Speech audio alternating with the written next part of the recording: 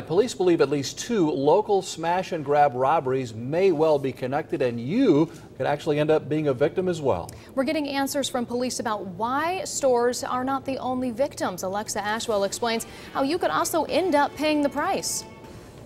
Omar Katie, this video shows thieves in action, and police tell us this isn't the only store targeted Sunday night. We've also learned that if you're not careful, you could end up with any of these stolen items. Shattered glass litters the floor of the Sprint store at the Greene. The store's eye catching design proves too tempting for those looking to make a quick buck Sunday night. And it's a quick sell for them. The group scores iPhone 4s and even two iPads at a five finger discount. But the crime may not have been their only one of the night. About 30 minutes later, the Verizon store in Kettering was also hit.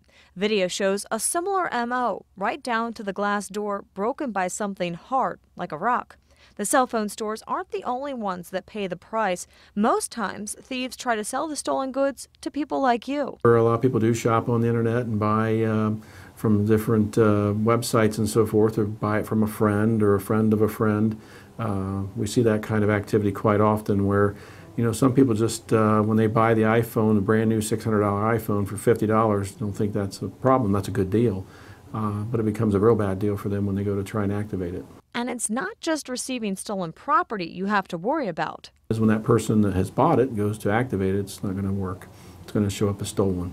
We wanted to know what you can do to make sure you don't buy one of these hot cell phones. So we asked Beavercreek Police. They tell us the answer is simply a matter of going with your gut. And the one thing I would just say if it's too good to be true, it's probably not true.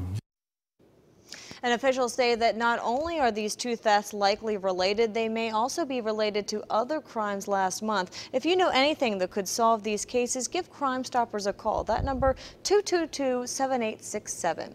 Reporting live, Alexa Ashwell, 2 News, working for you.